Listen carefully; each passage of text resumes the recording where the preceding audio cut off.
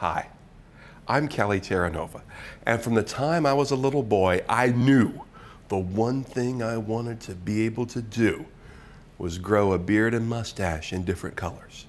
Oh, hi, I didn't see you come in.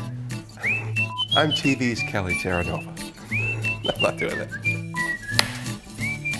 Ouch. Laughter is infectious, okay? Kind of like Zika. Unlike Zika, laughter is desirable, which is why people don't spray for comedians. I respect those who can make people laugh.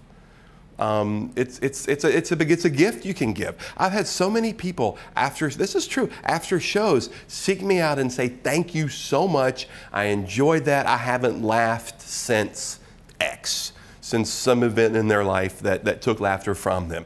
And here in this room in the dark with other people, they were able to find uh, that laughter. They found solace in the laughter.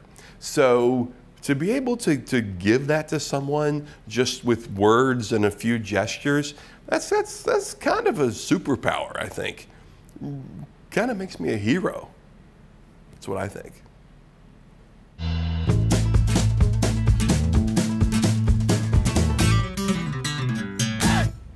In truth, I respect people. I don't. Actually, I don't at all. I barely even fucking tolerate people. Um,